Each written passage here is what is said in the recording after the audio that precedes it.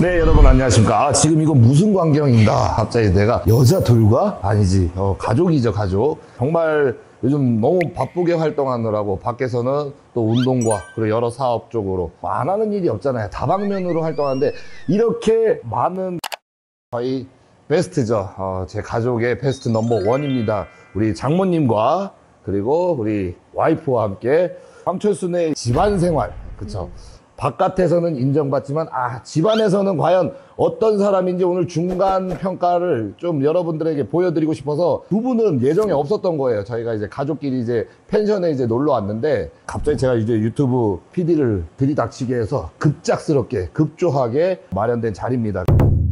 자 그러면은 음식을 일단은 뭐 차려놨으니까 먹으면서 좀 얘기를 해야 될 것 같아요. 그래서 오늘의 음 어우 음식이 너무 푸짐한데 소고기네요. 소 등심과 그리고 어 뭐야 그 살치살이야? 마블링이 또 예술인데. 등심이에요. 어 꽃등심, 눈꽃 등심. 아. 어 그럼 저거는 마침 아니 근데 저건 뭔가요? 아또 회식이나 가족 식사 자리에서 빠질 수 없는 철순포차 세트입니다. 아, 이런 자리에 이런 음식이 빠질 수가 없지. 대창? 양념 대창. 드실 줄 아시네요, 또. 아. 여러분들 아시죠? 제 집사람이 둘째 아이를 가지고 있어요. 지금 6개월인가요? 네. 네, 지금 임신 6개월째고 둘째 아이가 있기 때문에 음료수를 대체를 하겠습니다. 원래는 정말 둘이서 정말 그 매일 오붓하게 일 끝나고 이제 소주 한잔 하는 그런 그런 좀 가족만의 재미가 있었는데 그러니까 둘째가 빨리 생겼나? 천천히 나와라 너 안 그러면 큰일 난다. 네? 좋아할 수가 없지. 왜냐면은 거리감이 있었잖아. 이질감도 생겼고, 이제 같은 분야에 있는 사람한테 이성적인 감정을 느끼는 것보다 약간 존경의 이제 표현을 할 수는 있는 거지. 그러니까 나도 내 분야에 이제 뭐 대단한 사람 있으면 저 사람이 이성적으로 마음에 든다가 아니라 와, 대단한 사람이다. 라고는 생각할 수 있겠다. 넌 절대 이 바닥 사람이랑 절대 연애도 넌안안 이 바닥이 어떤 바닥인데요? 첫번 째로는 나는 이제 남자를 평가를 할 때 황철순이라는 사람이 내 사위이기도 하지만 한 사람으로 봤을 때는 그 분야에 대해서 대단하게 열심히 한다.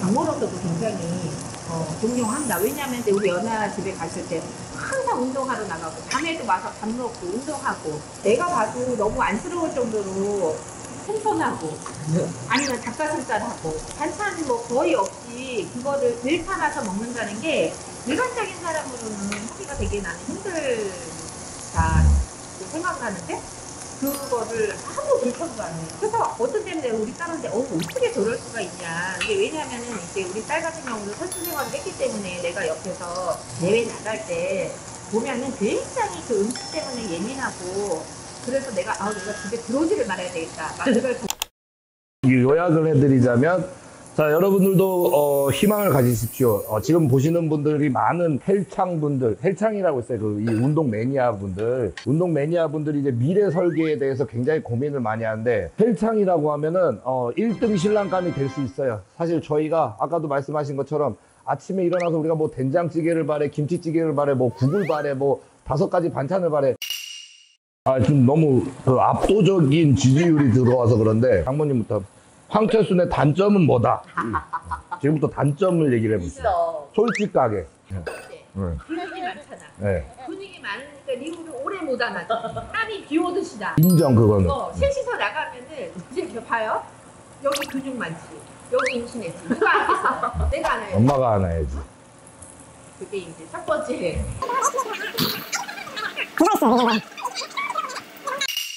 사실 저 혼자만 먹고 사는 게 아니기 때문에 가족을 위해서라도 더 조심하면서 살고 있거든요. 근데 조심하면 조심할수록 잡음이 더 생기는 것 같아. 작은 일에 그래서.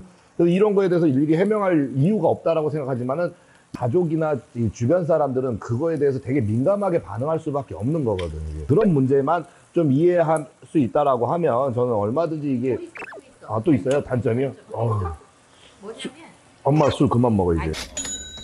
난 가끔 신기해 로봇인가 싶은 게 분명 운동을 하고 방금 들어왔어 밥 먹고 조금 쉬었어 근데 또 나간대요 진짜 그냥 내가 봤을 때 저건 할수 없는데 이게 새벽에도 나가고 막 이러니까 어, 진짜 대단하다. 돈 버는 거는 질 수는 있지만은 노력은 절대 안 질 자신은 있거든요. 자다가도 어. 이제 눈 떠서 운동하고 요즘에는 잠깐 집에 와서 쉬어야지 해서 운동 끝나고 들어와서 한 두시간 정도 누워 있다가 한 새벽 2시에 일어나서 밥 먹고 운동 가면 운동 딱 끝나면 해가 떠 있는 거예요. 맞아요.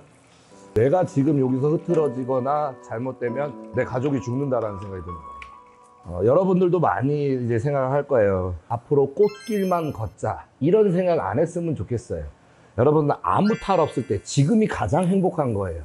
가족 중에 누군가가 아프거나 누군가가 사기를 당하거나 누군가가 다쳤을 때 그거 하나 해결한다고 온 집안이 잠 못 자고 그런 시기가 있잖아요. 그런 거를 하나 해결했을 때 어때요? 아, 이제야 안도의 한숨과 동시에 두 다리 뻗고 잘 수 있겠다라고 하잖아요. 그때가 행복해지는 거잖아요. 별탈 없을 때가 행복하다라는 거예요. 지금이 가장 행복하다라는 것만 알아두시면 돼요. 예를 들어 뭐 장모님이 사기를 당했대. 아니면 와이프가 뭐 사고를 사고가 났어. 아니면 뭐 아들이 뭐 다쳤어. 병이 생겼어. 병이 났어. 뭐 이렇게 됐을 때 그게 딱 해결이 됐을 때 아, 이제야 한시름 났구나.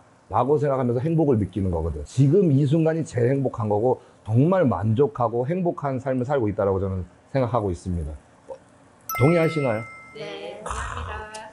여러분들도 집안에 하다못해 이제 뭐 자주 못 뵀던 부모님이라도 한 번쯤 찾아뵈면서 어렵지 않잖아요. 소주 한 병에 철순포차 하나 들고 이 곱창 하나 들고 가면요. 그냥 행복이 저절로 이루어집니다. 거기서 이제 싫은 소리 할 사람은 없어요. 아무리 내가 힘들어도 조금이라도 젊었을 때, 건강하실 때 집안 어르신들을 찾아뵙는 것도 인생의 낙이라고 저는 생각합니다. 그러면 저희도 이제 카메라 끄고 가족끼리 좀 오붓한 시간을 갖기 위해서 유튜버죠 이제. 저 유튜브 아니에요. 유튜버. 예.